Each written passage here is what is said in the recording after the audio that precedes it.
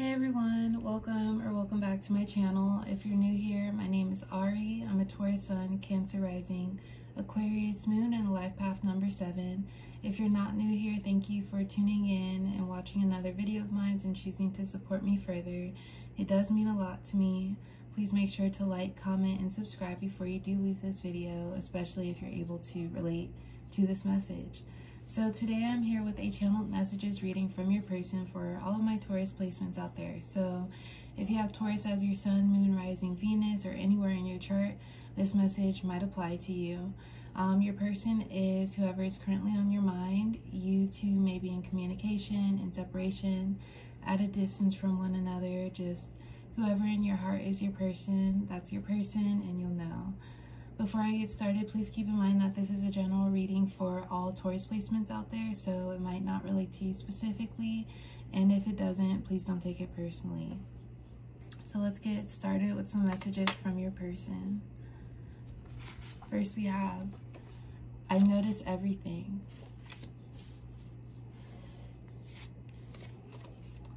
Baby, you are the one.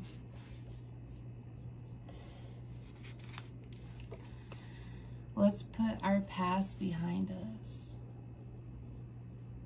Okay, so keep in mind that um, this could be your energy or your person's energy, but so far with these first three cards, um, I feel like your person is ready to like settle your differences or each other's differences.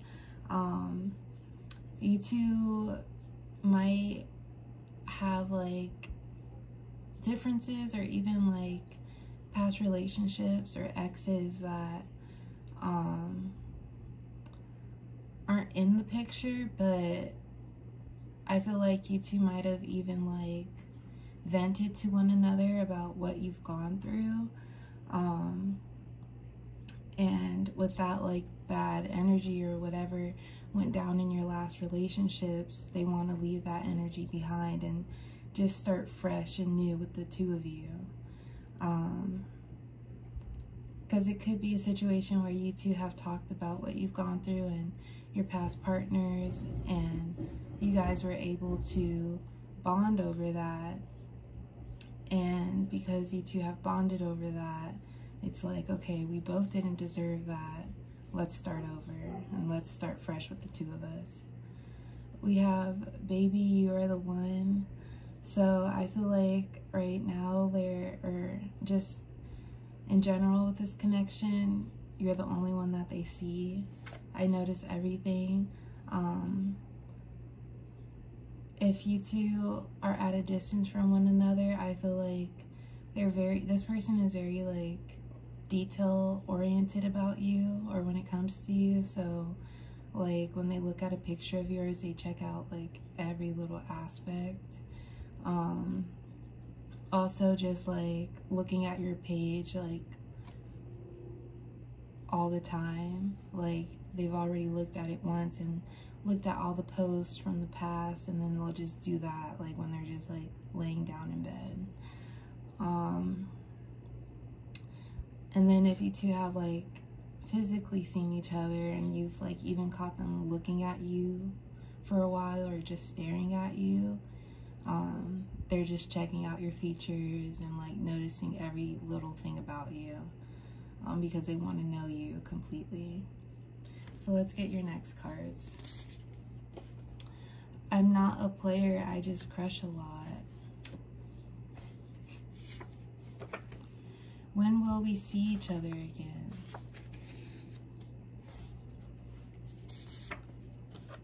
You add color to my life. Okay, so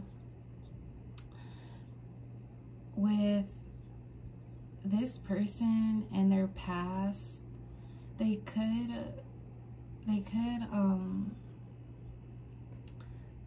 be the type to not like settle down or just like not not have had commitment or like when they vented to you about their like past relationships um they could have maybe hinted towards it but not even said it or maybe even uh what's it call it?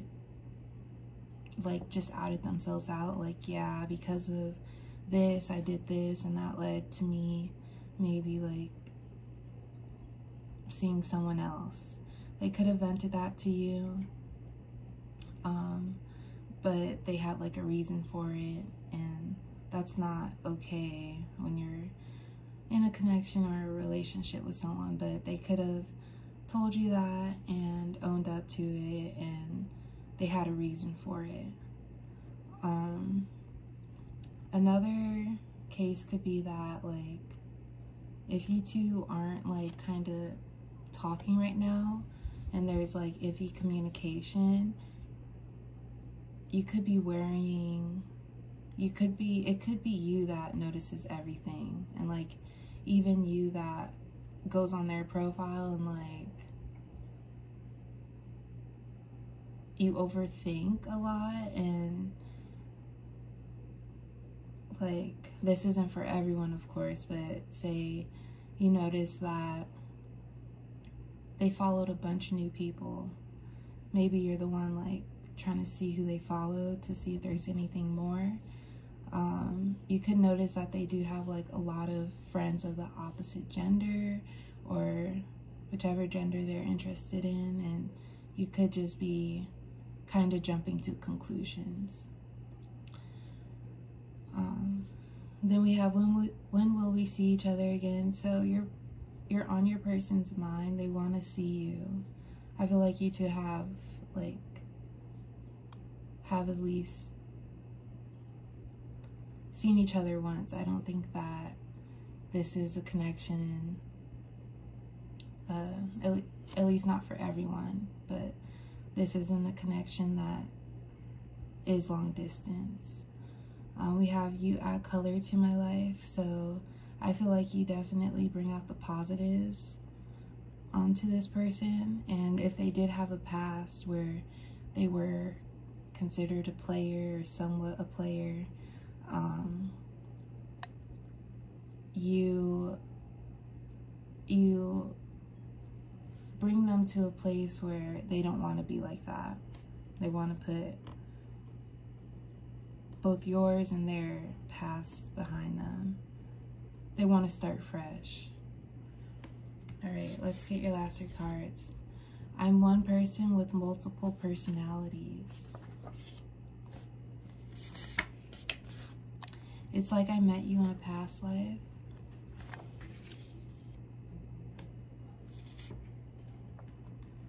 I'm in my head. Okay, so I'm hoping that my phone doesn't fall from its tripod. If it does, I'll have to come back to finish this. But we have, I'm one person with multiple personalities. Um, your person could be confusing and I feel like if it is if you were able to connect like to you noticing everything about this connection like on social media and like seeing everything that they're doing and coming up with these like conclusions on who this person really is I think that you should follow Okay, so I came back with another clip so my tripod or my phone wouldn't fall from the tripod. But like I was saying, if it is you who does notice everything about like what's going on with this person's social media and you kind of have this feeling about them, like you just hope that they're being honest. Um, I would just say follow your intuition and although they do show interest, don't like just trust in your intuition um, because with some people, although you're what they want, they can still just entertain other people. So I would just say be aware of that. Um, it could be possible that this person like is serious about you in their head. Um, but right now they're not ready to to just commit to you. They still want to entertain other people even though these other people might not mean what you mean to them. Um, you could feel like this person is very on one day with you and then off the next and kind of fluctuates in communication and that leaves you to be like where do we stand and you could be like when will we see each other because um it's like you two talk and everything's going well but then and but then it just leads to the same patterns. You could be dealing with an air sign. We have i'm in my head and with air signs a lot of their emotions play out in their head but with them being an air sign it's just very foggy. So it's hard for them to like navigate their emotions but I do feel like this person cares about you and you are special. You do stand out to them besides the other people who may or may not be involved. You have, it's like I met you in a past life. You just stand out to this person. And if it is back and forth communication, um, it's because I feel like they entertain other people, but you're still in their head um, because you just stand out to them. So yeah, in the end, I would just say follow your intuition, Taurus placements.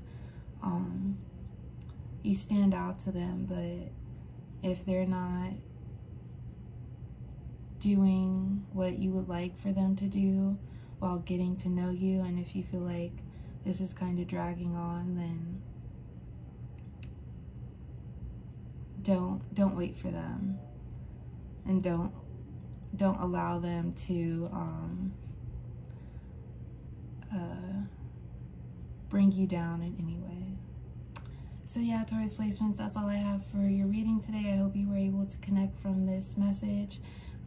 Please make sure to like, comment, and subscribe, and I will see you next time. Bye.